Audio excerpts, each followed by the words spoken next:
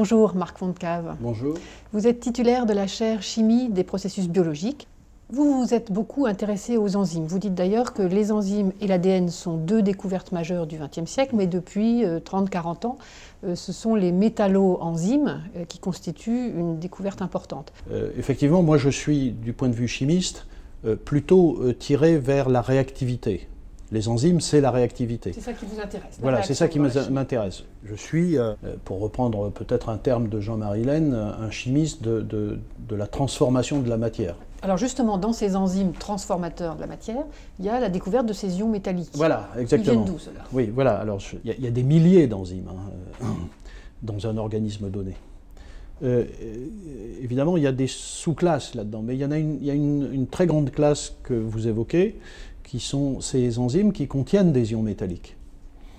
Et, comme je, effectivement je l'ai dit plusieurs fois, c'est une découverte assez, assez récente. C'est-à-dire qu'il n'y a pas de vie sans un peu de fer, un peu de cuivre, un peu de zinc, un peu de nickel, etc. Pour prendre un exemple, vous seriez incapable de fixer l'oxygène qu'il y a dans l'air si vous n'aviez pas euh, dans votre sang un peu, euh, un peu, de fer dans votre hémoglobine. C'est parce qu'il y a du fer dans l'hémoglobine euh, cette, grosse protéine, euh, que euh, la molécule d'oxygène se fixe sur l'atome de fer et le transporte. D'ailleurs, non seulement le transporte, mais le relargue après. Vous voyez toute la, toute la complexité de, du mécanisme. Une fois que le, chimiste a mis au jour la présence de ces ions métalliques, leur rôle, j'imagine qu'on va chercher à faire la même chose, non? Ou à, copier. Voilà, exactement. Dans mon approche scientifique, euh, un, des axes très importants, c'est le suivant. Euh, je prends une réaction chimique euh, que le chimiste ne sait pas faire encore aujourd'hui dans l'industrie ou au laboratoire. Un exemple? Bah, je, prends par exemple le fait de transformer de l'eau en hydrogène. il existe des enzymes qui font cela, on verra en quoi c'est inspirant, mais cette chimie-là, produire de l'hydrogène avec très grande vitesse, avec euh, euh, une très grande stabilité, euh, eh bien c'est réalisé par des enzymes qui contiennent du nickel et du fer. Aujourd'hui, sur la planète, on ne sait pas faire ça. on sait le faire avec du platine. Mais voyez bien la différence, le platine est un métal qui coûte très très cher, et si on savait le faire avec du nickel par exemple, ou avec du fer, ça, ça serait évidemment formidable. Arrêtons-nous sur l'hydrogène dont vous mm. parliez. Euh, c'est un champ de recherche que vous avez beaucoup développé, notamment parce qu'il y a euh, des enjeux sociétaux. Donc peut-être faut rappeler pourquoi on s'intéresse euh, à la production d'hydrogène, qui n'est pourtant pas encore acquise. Voilà, quand on veut développer les énergies renouvelables, il faut trouver des formes de stockage de ces énergies. Et c'est là-dessus que je suis. Et une, façon de stocker ces, énergies, c'est par exemple de les transformer en carburant.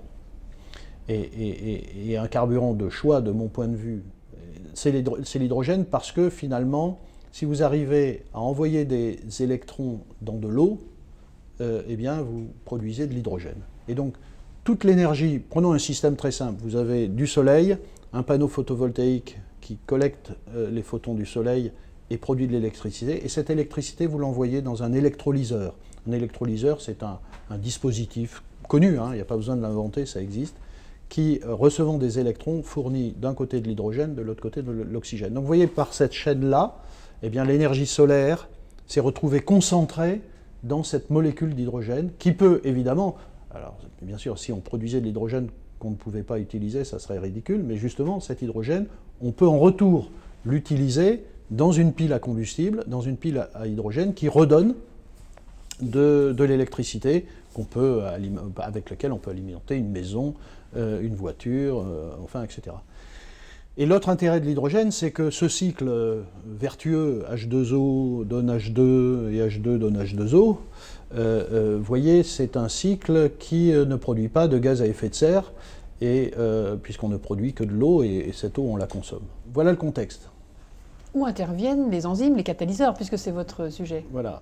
Quand on regarde si dans le vivant il se passe des choses dont on pourrait s'inspirer dans ce domaine-là Eh bien, on sait maintenant euh, qu'en effet, des micro-organismes euh, divers euh, font ça en permanence.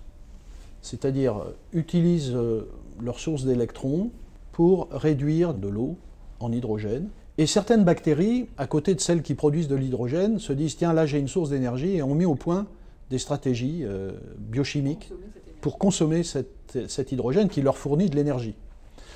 Euh, c'est assez classique hein, dans le domaine bactérien de cette euh, synergie entre, entre différentes cellules bactériennes.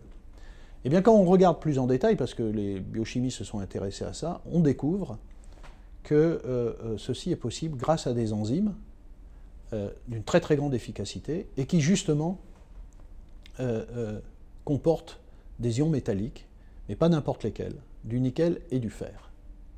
Et si on met cette information en regard de la réalité technologique industrielle aujourd'hui, à savoir que ces fameux dispositifs dont je parlais, les électrolyseurs, les piles à combustible qui nous permettraient à terme de développer une économie à hydrogène, eh bien tous ces dispositifs-là euh, euh, ne fonctionne qu'avec des catalyseurs de type métaux nobles, et en particulier le platine.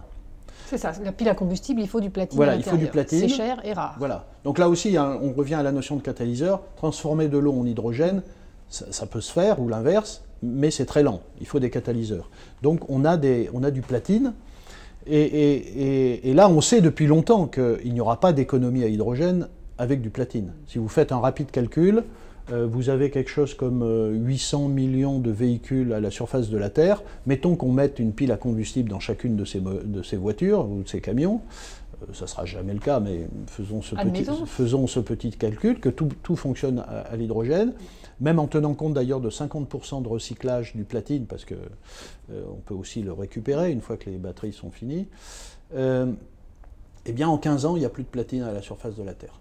D'où l'intérêt, la nécessité de trouver un autre voilà, les travaux que nous avons faits euh, ont conduit en effet à des catalyseurs très intéressants à base de nickel, par exemple, qui ont été publiés dans Science en 2009, mais aussi à base de cobalt, même si, mais parce qu'on sait qu'il y a certains aspects dans la chimie du cobalt qui nous rappellent celle du nickel. Enfin, vous voyez, c'est de l'inspiration.